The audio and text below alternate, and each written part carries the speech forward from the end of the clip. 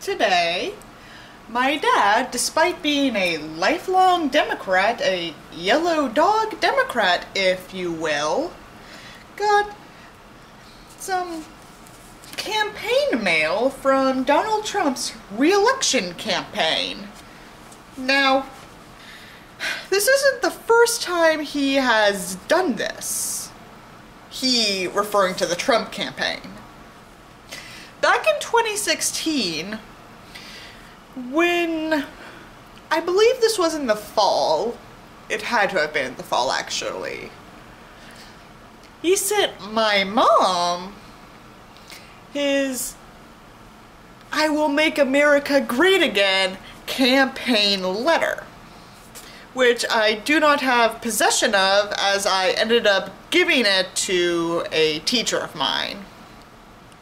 But, but, but, I want to read through this with y'all as a learning experience to see exactly what the fuck Donald Trump is sending potential supporters. Which I'm sure that list is deeply flawed because, again, they sent this to my lifelong Democrat father. And four years ago, they sent uh, another campaign letter to my also lifelong liberal mother. I, again, I haven't read this, I only like skimmed through it to make sure all the addresses were hidden. So, we have a little brochure here. You can get a Keep America Great hat with a contribution of $45 or more, which is the minimum amount they let you donate without putting up other.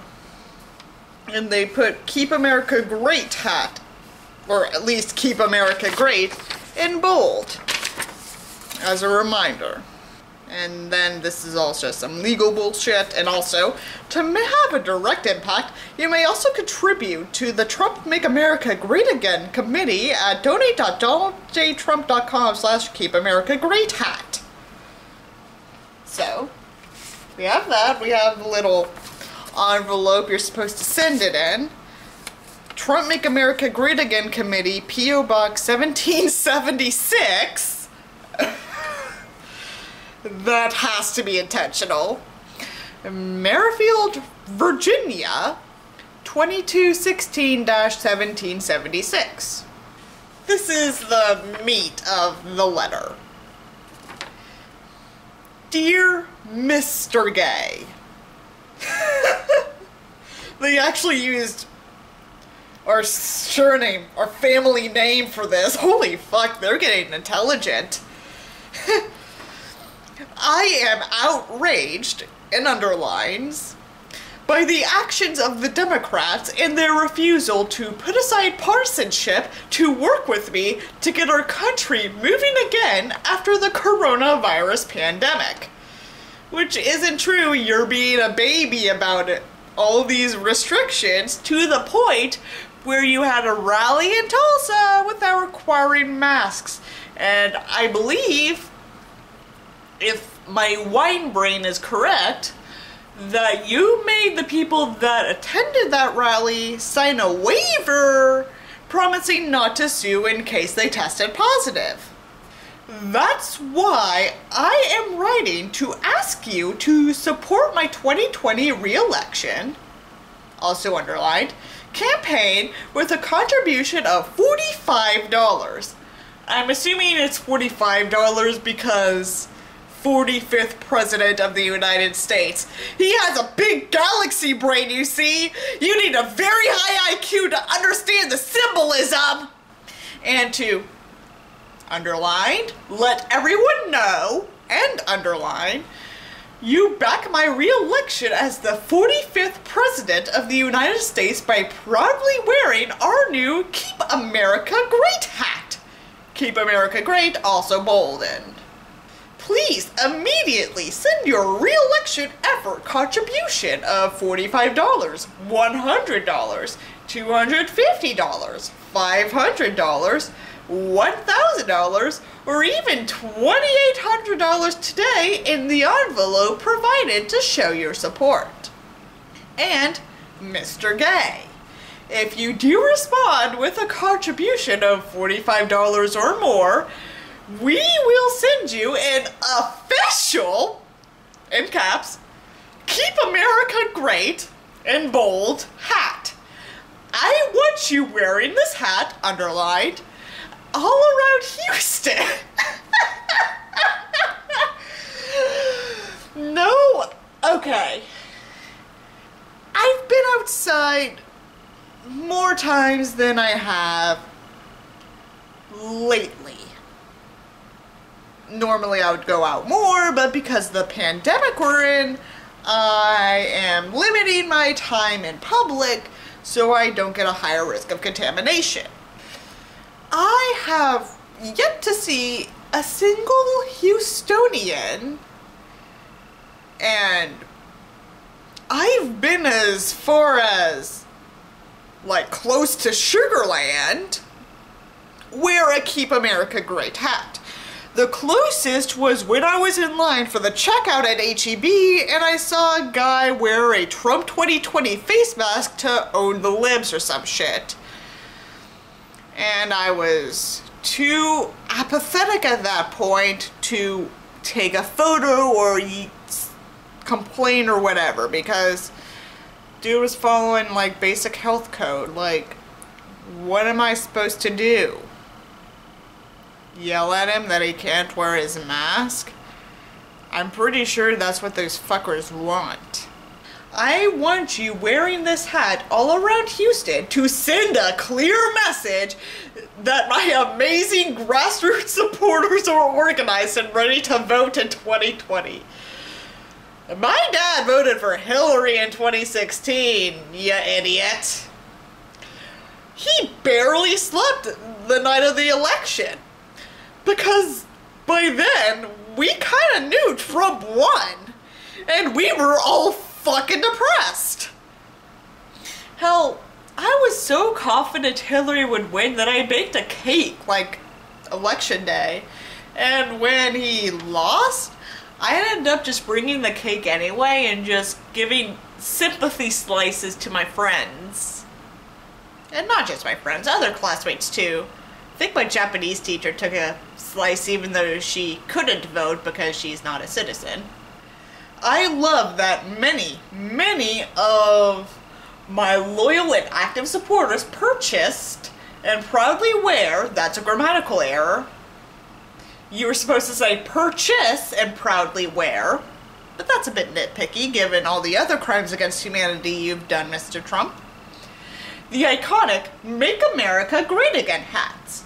But for our 2020 campaign, we've issued this new Keep America Great hat because you guys, you guys, stop wearing the MAGA hats. People are seeing that they're racist. Wear the Keep America Great hats instead. We like spent a lot of money to make the hats. We don't want it to be a financial loss, guys. We've issued this new Keep America Great hat to signal that we are now fighting to protect and expand on the historic successes of my first term as president, or lack thereof. Every Keep America Great hat worn by a patriotic American like you in Houston sends the message that my Trump coalition, the greatest grassroots political movement this country has ever seen, is, underlined, united and focused on victory, and underlined, in 2020. So please respond as soon as possible with a generous contribution of $45 or more, because I'm the 45th President of the United States and also an absolute narcissist who needs money for his political campaign for validation. Sincerely, Donald Trump, and the signature is printed on, not actually signed, because the ink quality is consistent with the paper. Sincerely, Donald J. Trump, President of the United States of America. P.S. Mr. Gay, the Democrats and the fake news the fake news my dad reads because he he gets most of his news from Yahoo News and Yahoo outsources its news to the fake news from what I've seen. Sneered at patriotic men and women like you who supported me and embraced my America First agenda in 2016. Again, my dad voted for Hillary in the election. My dad voted for Hillary. My mom voted for Hillary. If Derek and I were old enough to vote in 2016, we also would have voted for Hillary. Ah, they're just getting desperate, aren't they? But the cynic in me still thinks he will probably win re-election, even though this fucking pandemic is ruining him. Don't, do not inject bleach to try and cure the coronavirus. That's going to kill you. But we won, and I have been winning for the American people ever since. Have you? I need an overwhelming Republican victory in 2020 to shut down the liberal witch hunts and get back to putting the American people's interests first. I remember after the 2016 election, it was a Republican. Every major asset of the US government was Republican, but even then, your Muslim ban was blocked by a federal judge. A lot of other things you tried were blocked by federal judges or were decimated by the petty infighting by the spineless invertebrates in your political party. Hmm? So please, send a contribution of $45. Jesus, that's like the 10th mention of money in this dumbass letter. Or more today to join our effort and get to get your own Keep America Great hat. Thank you again.